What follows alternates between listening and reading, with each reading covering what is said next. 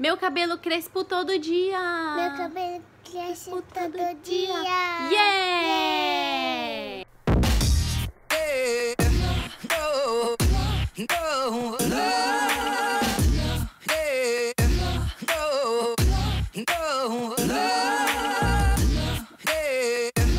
Bom, Olha isso.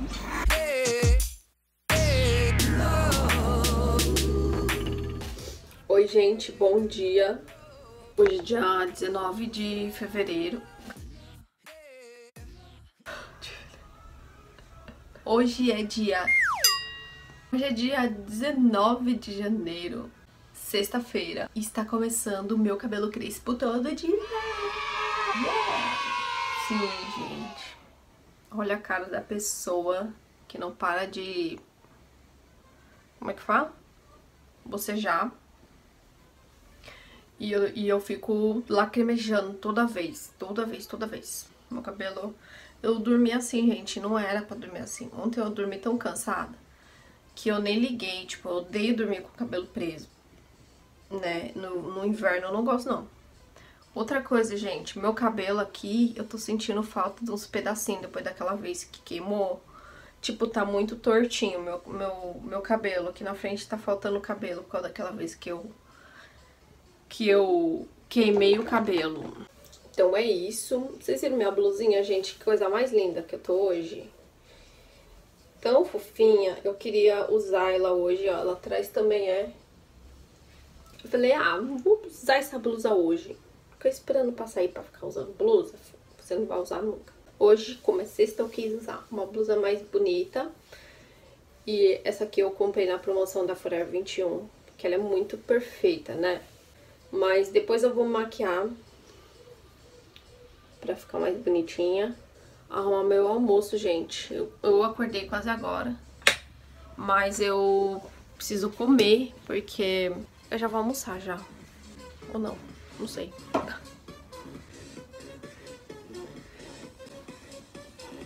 Esse aqui vai ser meu almocinho de hoje. Carne, brócolis, batata doce, essas frutinhas aqui. Eu fiz esse limonada aqui com açúcar mascavo que eu fiz. Tá bem refrescante. É só água, limão e açúcar é, de coco, tá? Não é mascavo não, de coco. Fica bem refrescante. Vou tomar minha vitamina D, que eu não tomei de manhã. E esse vai ser almocinho de hoje, beleza? Só tô aqui observando esse painel aqui pra fazer. Gente do céu! Gente, eu tenho que parar com essa mania de começar todos os vídeos falando gente. Vocês acreditam que eu editando agora, eu percebi que quase todos os cortes dos vídeos eu sempre começo falando gente! Meu Deus do céu! Agora vocês estão vendo com essa carinha aqui, com esse black totalmente maravigold.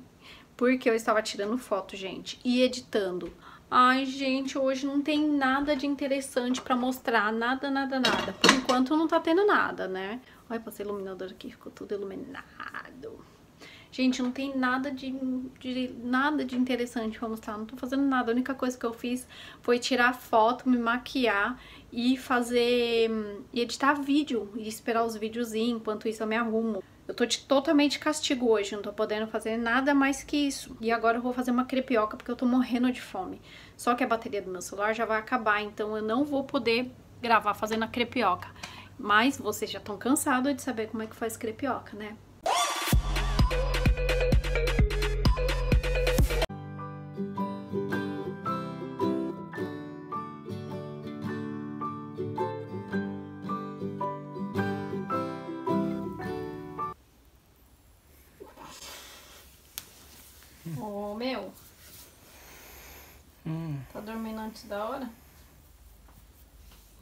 Ajudar a fazer o peixe, não? Não, né? Dormiu. Viram, gente? Porque eu não consigo gravar nada. Porque a pessoa fica dormindo eu não posso fazer barulho. Eu acabei de fazer uma quinoa, que eu preciso ensinar aqui no canal, que tem gente que ainda tá... Viu eu comendo, viu eu fazendo, mas toda vez pergunta como é que faz. Eu preciso gravar aqui como que faz. Eu só não gravei agora porque o bonito tava dormindo. E eu não podia fazer barulho, né? Mas eu vou gravar, tá bom, gente? Fazendo a quinoa, como que a gente, como que eu faço a quinoa, tá bom? Pra vocês fazerem na casa de vocês e tirar essa dúvida de vez por todas. Agora, peixe aqui esperando pra gente fazer. Vou fazer daqui a pouco. E só. Essa aqui vai ser a janta. Peixe. Gente, então esse aqui é o peixe. A gente colocou ovo aqui. E esse daqui é a farinha de coco.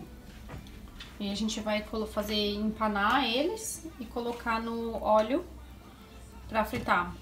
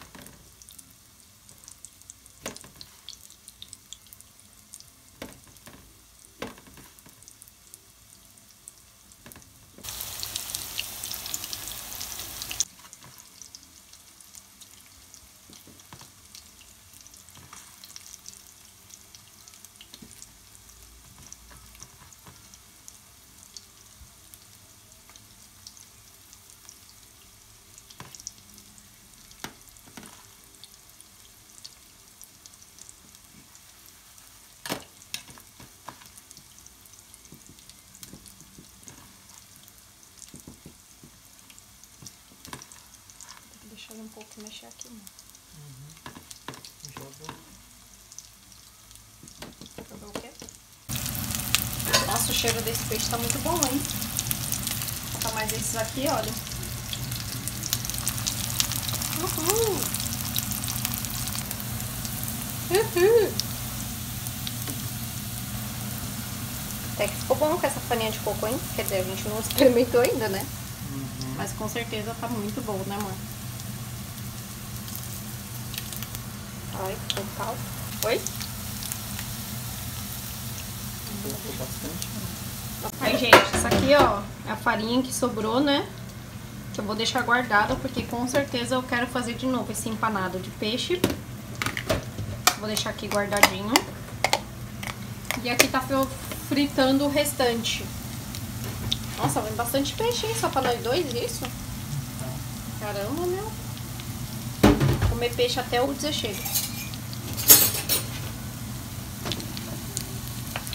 Então, gente, esse vai ser o pratinho de hoje, da jantinha do peixinho. O que, que vocês acharam? Ficou bonito, hein? Né? Olha, primeira vez fazendo assim, Saudável. empanado.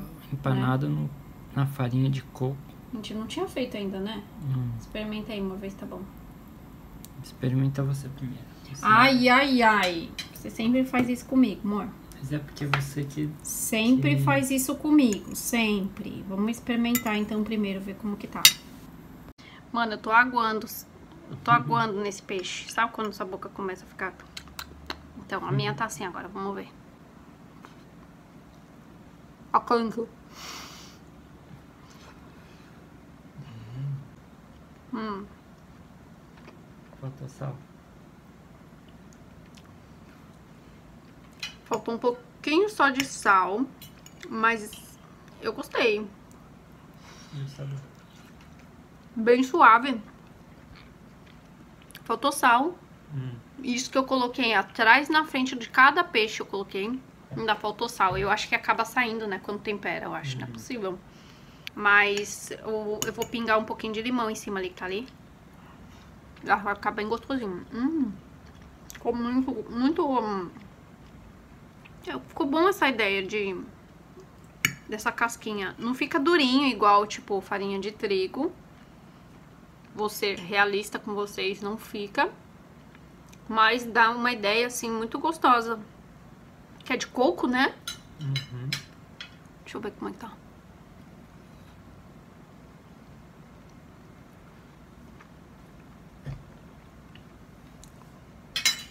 Eu gostei. Uhum. Porque o peixe é bem molhadinho, né? E a farinha, ela dá uma ressecada até. Ela, ela é uma farinha bem seca, farinha de coco.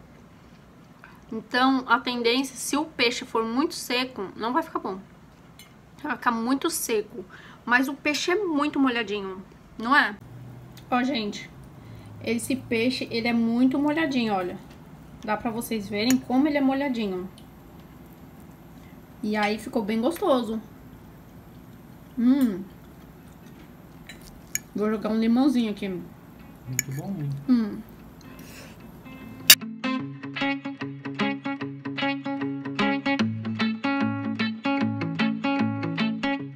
Vocês estão vendo essas coisinhas aqui em cima. Eu vou mostrar pra vocês como que eu faço o meu brigadeiro ou chocolate ou cobertura feito com leite de coco. Ele não tem lactose, é feito mais, mais natural, né? Com produtos naturais, orgânicos. Então, mostrar aqui os ingredientes que você vai direto colocar numa panela, tá? Pode ser uma panela normal, antiaderente, qual você costuma fazer. Você vai usar uma panela para fazer essa receita e um fogo, tá? Então, nela eu vou colocar leite de coco,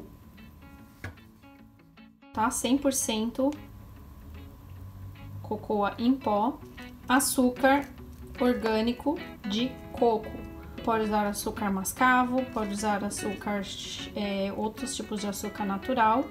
Esse daqui eu comprei no ierb.com e eu vou misturar esse açúcar, vai ser metade desse açúcar e a outra metade será xilitol, que é um adoçante natural. Esse daqui eu também comprei no IERB.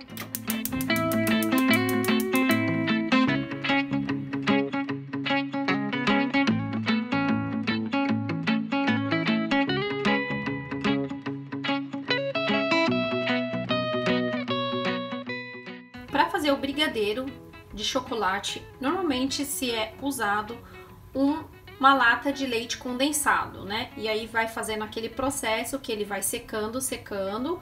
Olha, coloca o leite condensado, o açúcar e chocolate, mexe, mexe bastante, ele vai secando, vai secando e vai ficando aquela consistência de brigadeiro, né? Normalmente também põe manteiga. Nessa receita, como ela é mais natural, a, o leite de coco ele vai fazer o papel do leite condensado, tá? Então, como vocês vê, ele vai ser um leite mesmo, tá? Então, a gente vai fazer aquele processo de secar ele bastante até ele ficar na consistência mais grossinha.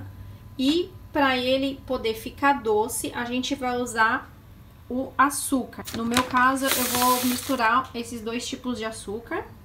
Vou experimentar e vou ver se tiver bem docinho, tiver do meu gosto, eu vou deixar assim.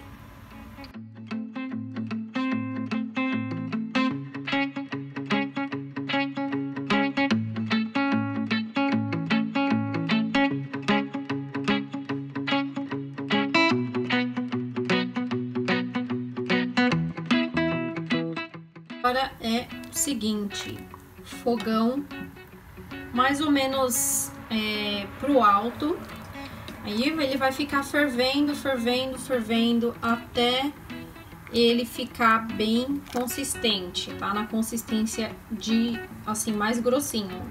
Por enquanto tá bem água mesmo, bem líquido, e ele vai engrossando, tá? Tenha fé que ele vai engrossando. E a quantidade de leite que eu coloquei foi de um litro, tá? É, se você quiser colocar menos, você coloca. É, mas eu gosto de fazer assim, porque às vezes eu gosto de comer com bolo, às vezes eu gosto de comer puro. Eu faço de um litro porque ele vai secar e ele vai ficar bem pouquinho, tá bom? Então pensa bem. Se você for colocar pouco, ele não vai dar essa quantidade, não. Ele vai secar bastante, vai ficar bem pouquinho, tá bom? Agora é só mexer e esperar engrossar, gente. Que vai demorar bastante agora. É importante você ir mexendo bastante, é, porque às vezes ele pode ferver muito e querer sair para fora da panela, ou se ele estiver pegando uma consistência bem mais grossa, ele vai ah, começar a grudar embaixo, tá?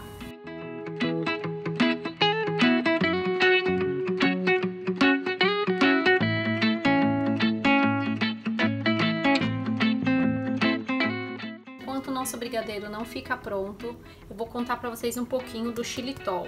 Para quem não conhece, o xilitol é um adoçante natural Normalmente ele costuma ser um pouquinho mais doce que o açúcar normal e ele também tem um impacto menor na glicemia do sangue, tá? O que acontece, gente? Se você come o açúcar normal, esse açúcar refinado ele faz dar um pico muito alto de, uh, de glicemia. O xilitol tem menos essa quantidade, né? Esse impacto menor na glicemia. Além disso, ele é menos calórico que o açúcar normal. Então, para adoçar, você também vai ter que colocar menos quantidade. Então, gente, o xilitol é super recomendado para quem quer diminuir gordura, gordura da barriga, quem tem problemas diabéticos, quem quer se livrar do açúcar refinado, tá? Que faz super mal para a saúde. Esse daqui, ele é, um, ele é dessa marca que eu comprei no site do ieb.com, tá? Ele tem menos calorias que o açúcar normal, tá vendo? Ele é puro e natural e excelente alternativa de açúcar. Gente, eu não sei se vocês conseguem ver, mas ele já mudou um pouquinho, tá? Ó. Já mudou um pouco já a consistência, mas não tá nem um pouco grosso ainda, olha. Coisa leve mesmo, mas ele já mudou bastante, tá? Já deu uma encorpada, mas ainda não tá bom, falta bastante tempo ainda. Gente, deixa eu mostrar pra vocês como que ficou a consistência dele já passados alguns minutos, tá? Tcharam! Olha, gente, como ele já ficou diferente. Já mudou bastante. Muito mesmo. Deixa eu aumentar aqui um pouco o fogo. Nesse momento, quando ele fica nessa cor, ele vai escurecendo, tá, gente? E aí, quando ele fica nessa consistência aqui, nessa cor, ele já fica de um jeito que ele não vai ficar subindo e querendo sair pra fora, tá? Ele só vai ficar cada vez mais borbulhando assim. Você vai olhando assim, se tá aparecendo a, o fundo da panela, tá? Ó. Já mudou bastante, agora tem que ficar mais um pouquinho. E Daqui a pouco a gente já vai desligar o fogo e vai jogar o chocolate. Ele tá parecendo um doce de leite agora. Se você gostar dessa consistência, quiser colocar em alguma receita, isso, essa consistência aqui já tá ótimo, né? Gente, às vezes pode acontecer com vocês o que aconteceu comigo já é, algumas vezes, tá? Quando eu faço isso. É, normalmente ele começa a separar um óleo, junta bastante óleo mesmo. Aí é legal, você pode pegar uma concha, tá? E tirar esse óleo que vai saindo. Sair bastante óleo e pode dispensar esse óleo e continuar a receita. Ó, gente, sai um óleo claro, tá? dessa receita. Você pode dispensar e continuar com fogo alto ou com fogo normal mesmo, tá? Ó, gente, já tirei bastante óleo, ele ainda tá soltando bastante óleo, tá? Mas você fazendo assim, ó, você já começa a ver que tá saindo bastante óleo. Ele já diminuiu bastante a quantidade dele, tá? Gente, eu tirei mais óleo, liguei o fogo de novo e agora dá pra ver o fundo da panela, tá? Essa consistência já tá boa. Já tá ótima já. Bom, assim eu percebo que não tá saindo mais tanto óleo como tava antes, olha. Já baixei o fogo. E ele não tá saindo tanto mais, tanto óleo não. Então eu vou deixar assim. E vou começar a jogar o chocolate.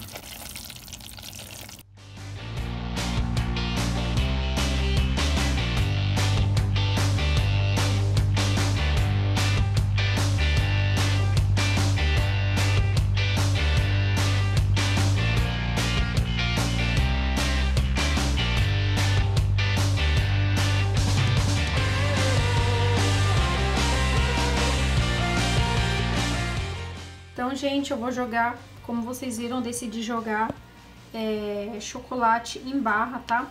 Esse aqui que eu tô usando é esse cacau 86% de cacau, da Meiji. Esse é o que a gente gosta muito de comer. A gente gosta, então vou colocar ali. E vou colocar também uma ou duas colheres de cacau em pó.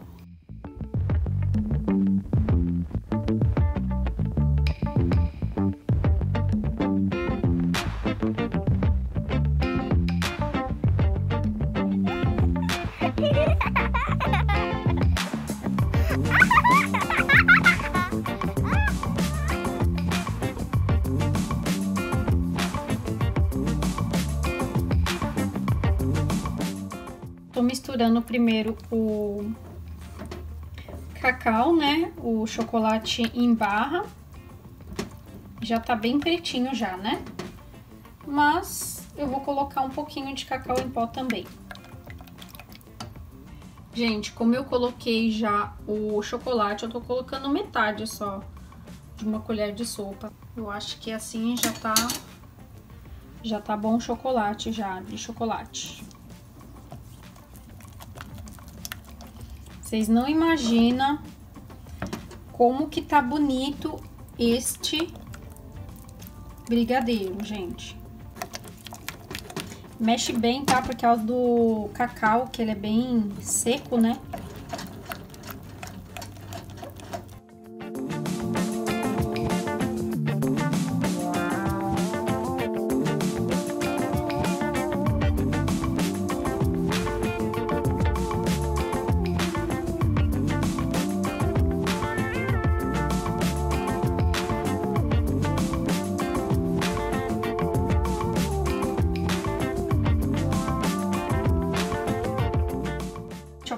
Vocês vejam que ele não gruda na panela, tá? Porque ele tem bastante óleo, então ele não vai grudar na sua panela muito não, tá? Mesmo se a panela for antiaderente ou não for, ela não vai grudar, ó. Ele fica um chocolate bem, bem, é, bem brilhante, tá? Eu vou até pegar na mão pra vocês verem como ele fica. Ó. Tá vendo? Ele fica parecendo... Não sei explicar, gente. Mas ele fica bem... É um chocolate bem gostoso mesmo, tá? Ótimo pra fazer. Deixa eu comer esse negócio logo, porque eu não tô conseguindo ficar vendo isso sem comer, peraí. Hum... Meu Deus! Hum... Então, gente, esse aqui foi o vídeo do meu brigadeiro ou cobertura ou chocolate ou sobremesa de coco totalmente saudável, tá bom? É só não exagerar, tá? É, a quantidade de um litro deu esse tamanho de pote aqui, ó, do tamanho da minha mão. Façam na casa de vocês, vocês vão adorar. É um, ele fica brilhante, tá? Fica assim bem bonito na sua receita, tá bom? Fica muito mais gostoso que o brigadeiro de leite condensado, tá bom, gente? Fica muito mais gostoso. Fica com gosto de coco. Imagine isso aqui com coco ralado, gente. Imagine isso aqui em cima da banana. Imagine isso aqui, ai meu Deus, com em cima de um bolo saudável, gente. Fica muito gostoso. O importante também é vocês colocarem o chocolate amargo, tá? O cacau em pó, é, que não seja chocolatado, porque senão vai ficar muito doce, tá? Já o leite de coco, ele fica muito, já é docinho. O açúcar, eles, esses que eu, que eu usei, já é muito doce também. Então, se você usar chocolate achocolatado que tem açúcar, vai ficar mais doce ainda. Se vocês gostaram aí dessa receita, desse chocolate maravilhoso, clica em gostei aí pra mim, tá bom? Se inscreve no canal se você não é inscrito, vai ter outras receitas. Dá um like aí pra gente, se inscreve no canal e a gente se vê na próxima receita.